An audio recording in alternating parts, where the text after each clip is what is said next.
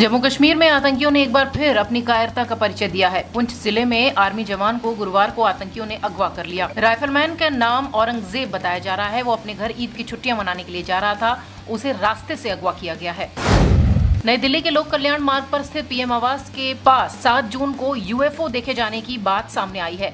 इस घटना ने सुरक्षा अधिकारियों को चिंता में डाल दिया है, लेकिन पुलिस अभी तक कुछ भी पता नहीं लगा पाई है। कि आखिर वो अज्ञात चीज़ थी क्या? एआईएडीएमके के 18 विधायकों की सदस्यता रद्द होने पर मद्रास हाईकोर्ट का बटा हुआ सा फैसला आया है। हाईकोर्ट के फैसले के बाद तमिलनाडु सरकार सुरक्षित है और कोई उपचुनाव भी नहीं होंगे। हालाँकि ये 18 विधायक अयोग्य रहेंगे। कोर्ट के इस फैसले से दिनाकरण गुट के लिए राहत का फैसला नहीं लग रहा।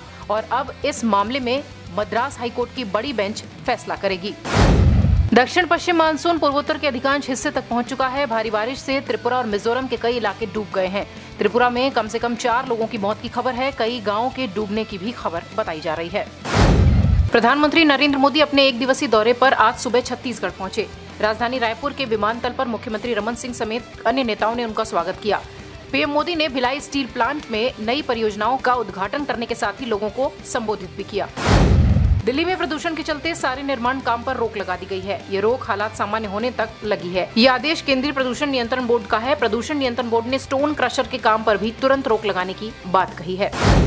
पाकिस्तान की ओर से लगातार हो रहे सीज फायर उल्लंघन को लेकर आज बड़ा फैसला लिया जा सकता है। गृहमंत्री राजनाथ सिंह इस मुद्दे पर आज बैठक करने वाले हैं। बताया जा रहा है कि दिल्ली में गृह मंत्रालय में होने वाली इस हाई लेवल मीटिंग में जम्मू कश्मीर के डीजीपी एसपी वैद भी शामिल होंगे। दिल्ली के मुख्यमंत्री अरविंद केजरीवाल के धरने के जवाब में बीजेपी भी मैदान में उतर आई है। बुधवार दोपहर से सीएम केजरीवाल के दफ्तर के वेटिंग रूम में बीजेपी विधायकों का धरना जारी है। खास बात यह है कि उन्हें आम आदमी पार्टी के बागी विधायक कपिल मिश्रा का भी समर्थन मिल रहा है।